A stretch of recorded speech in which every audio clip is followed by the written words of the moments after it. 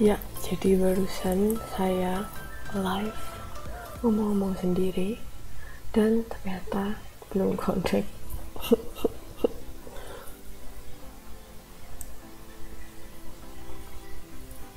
jadi ini untuk murid saya yang salah satu murid saya namanya Andi Andri sorry Andri nah uh, jadi ini gambarnya Andri yang disubmit uh, tugas ke saya. Terus habis gitu ini akan saya betulkan. Jadi ini uh, sebenarnya tinggal bayang-bayang gelap terang terus detailingnya itu yang kurang. Ini tadi sudah saya betulkan jadinya seperti ini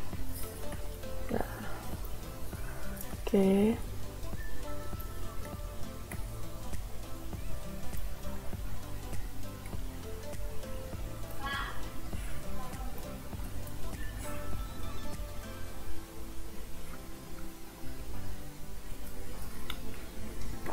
Oke.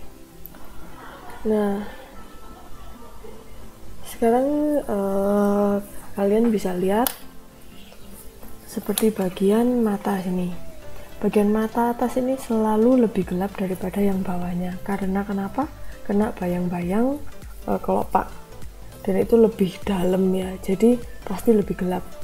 Nah jadi ini dikasih gelap hitam dari atas nih ke bawah jadi gelap tambah terang tambah terang tambah terang. Nah kebetulan ini matanya e, cukup hitam yang bagian atas atas jadi ini pakai hitam aja terus disembur ke bawah di degradasi.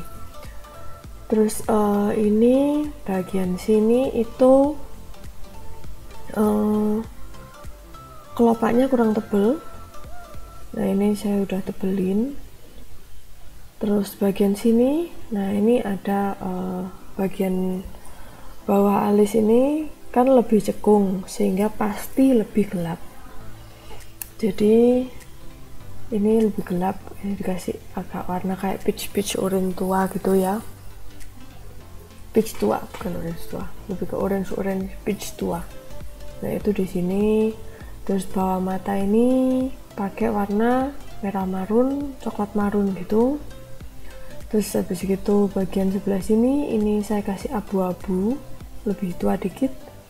Karena balik lagi uh, seperti teori yang pertama kena bayang-bayang dari kelopak mata jadi atas lebih gelap. Terus habis gitu lagi ya? Sebelah sini ini gelap. Jadi ini udah nggak ada putih-putihnya lagi harusnya. Lalu bagian hidung sini ini kan ini gelap. Uh, bagian sini sama sebelah sini itu jelas beda karena lightingnya kebetulan ini dari sebelah kanan.